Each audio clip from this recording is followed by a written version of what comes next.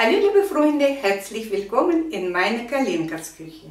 Heute möchte ich mit euch über den Rinnenblume oder Calendula reden und werden wir auch eine Salbe zubereiten. Und die Rinnenblumen oder Calendula genannt, das ist die Pflanze für unsere Haut. Ob das für unsere Wunde oder Narben oder riesige Haut im Winter, wenn es so äh, kühle Tage kommen, dann bekommt man so eine riesige Haut auf die Hände. Es ist wunderbar so zu verwenden. Aber das kann man nicht nur äußerlich anwenden, es kann man auch äh, als Tee das annehmen. Es ist genauso wie Tagetes oder Löwenzahn, genau auch Rindenblumenblüten haben sehr viel Lutein. Und das ist gut für unsere Augen. Deswegen kann man die schön einnehmen. Zum Beispiel vom Schlafen kann man eine Tee zubereiten, Rinnenblumenblüten und Pfefferminze zusammen einsetzen und trinken. Dann bekommt man eine ruhige Nacht. Jetzt möchte ich euch nun kurz zeigen, diese wunderbare, wie ein Gold, wie eine Sonne, Salbe. Und wenn ihr das in die Gläschen reinmacht, bitte wartet, bis das die Salbe richtig fest ist und dann nur die Deckel drauf machen, dass es nicht schwitzt und euch die Feuchtigkeit nicht in die Creme kommt, dann könnte passieren, dass es schimmelt. Und schön ancremen. Hm, duftet nach meine ätherische Öle. So, liebe Freunde, und jetzt erstmal nehme ich euch in den Garten und pflücken wir erstmal genug Blüten und dann machen wir die Salbe zusammen. Heute möchte ich die Rindenblume sammeln oder wie nennt man die nochmal? Calendula. Und schaut, wenn sagt man zwischen 6 und 7 Uhr, die Blüten steht auf, dann wird ein schöner Tag. Wenn nach 7 Uhr die Blüte ist immer noch zu, dann kann es regnen. Die werde ich jetzt erpflücken und lassen dann ein bisschen anwelken. Gib so ganz helle, aber gibt es auch die schöne dunkle. Muss ich jetzt durch das ganze Gewuchere durch und pflücken. Nach den Pflücken sollen wir die Blätter oder anwelken lassen, richtig gut anwelken lassen, dass in die Blüten nicht zu viel Feuchtigkeit drin ist, dass unsere Salbe dann nicht schimmelt. Oder lässt man sogar richtig trocken. Meine sind schon fast trocken, aber die sind noch biegsam. Und die werde ich jetzt einfach so abzupfen, weil wir brauchen nur diese Blütenblätter. Nur das, diese gelben. In die Mitte nicht. Für eine Portion Salbe, diese 50 Milliliter oder 50 Gramm Döschen, brauchen wir etwas mehr Öl als 50 Milliliter, weil danach beim Absieben wird das bisschen Öl verloren, dass ihr dann volle Döschen Salbe habt. Ich habe mir jetzt abgemessen 60 Gramm Öl auf die Waage. Ich nehme Traubenkernöl, kann man auch ein gutes Olivenöl nehmen. Dann werde ich jetzt die Blätterchen abzupfen und gleich hier reinmachen. Ungefähr muss von den Blüten richtig schöne eine gute Handvoll Blumen sein. Gute Hand. Und dann abzupfen. So, ich zupfe die jetzt ab und kann gleich jetzt in die Öl geben und wir werden ein heißer Auszug machen. Kann man natürlich auch kalte machen, dann dauert etwas länger, mit dem warmen Auszug etwas schneller. Und jetzt sind die fast trocken,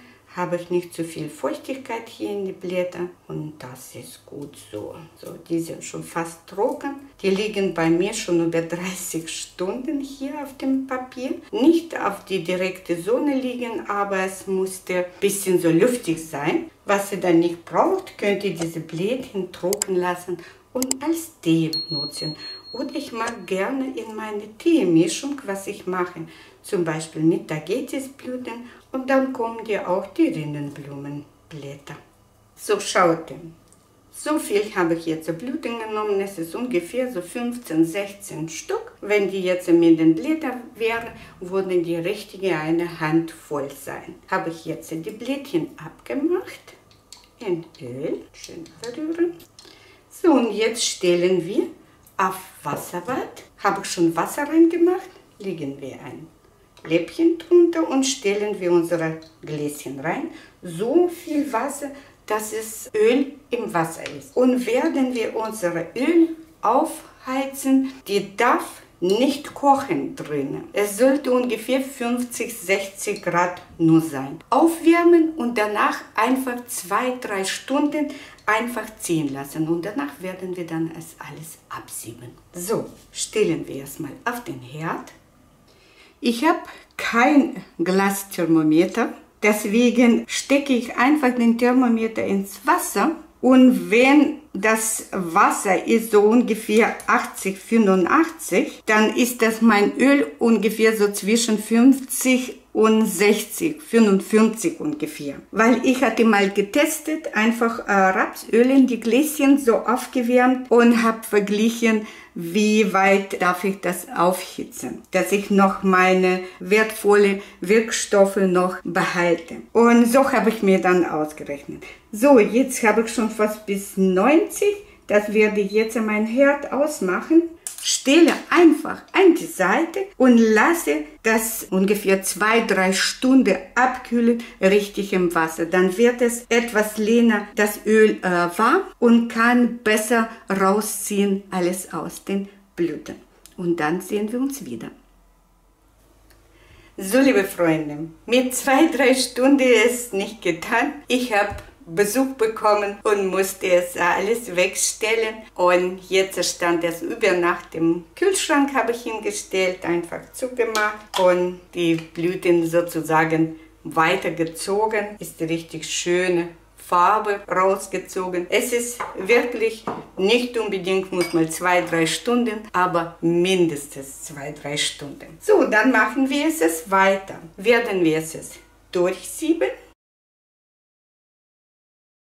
werden wir jetzt unser Öl aufwärmen und dazu geben wir Bienenwachs. Und ich habe noch ein bisschen von den Skibutter. Ich verwende so ein Skibutter. Eventuell kann man statt Skibutter Lanolin dazu geben. Wie eine von meinen Zuschauerinnen mal geschrieben, wenn man äh, Lanolin dazu gibt, dann verbessert es die Haltbarkeit. Deswegen Lanolin oder den Skibutter.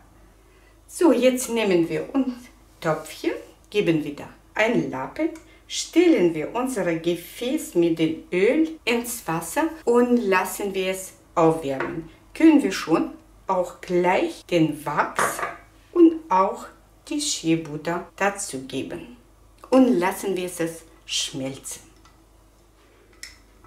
So lassen wir es richtig den Bienenwachs und Skibutter auflösen. Und so können wir jetzt den Herd schon ausmachen. Hier heißes Wasser reicht das schon. Alles schön aufgelöst. Können wir jetzt unsere Gläschen rausnehmen und ganz bisschen abkühlen lassen, bevor wir ätherische Öle und Vitamin E dazu geben, weil dann bringt es nicht, wenn man ein heißes Öl reinmacht, dann alles ist verdünstet. So nach einer Minute können wir schon die restlichen Zutaten dazu geben. Ich äh, hätte jetzt zum Beispiel für diese 50 Milliliter Öl äh, 5 Tropfen äh, Lavendel gegeben. Aber weil ich heute möchte noch zwei Tropfen äh, Propolis Tinktur dazu geben, nehme ich nur drei Tropfen von Lavendel.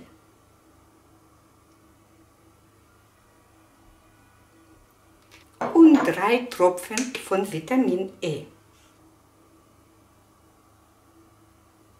So gut verrühren und jetzt füllen wir dieses Öl in so ein sauberes Gläschen und die müssen unbedingt trocken sein. Auf keinen Fall, dass ihr das äh, heiß abgewaschen und da sind noch die Wassertropfen sind. Füllen wir da rein. Ist noch ein bisschen übrig geblieben. Nicht zudecken, erstmal abkühlen lassen. Ich habe aber mir noch ein kleine dazu gemacht, vorbereitet und gebe da rein. Sieht sehr gut aus. So sonnengelb. So, liebe Freunde, erstmal richtig abkühlen lassen und dann den Deckel zudrehen. Ich aufbewahre meine Salben oder Cremes, was ich vor, äh, vorbereite, alle im Kühlschrank oder irgendwo einem kühlen Ort, weil wenn es Sommer ist warm und selbstgemachte Cremes oder Salbe macht, könnte passieren, das könnte Schimmel oder schlecht werden oder werden die so unangenehm riechen. Deswegen besser die kühl Lager. So, liebe Freunde, ich hoffe, es wird euch mein Video gefallen und eine oder die andere mit diesen wunderschönen Blumen sich eine schöne Creme machen. So, liebe Freunde, ich wünsche euch alles Gute, bleiben Sie gesund und bis zum nächsten Mal. Tschüss!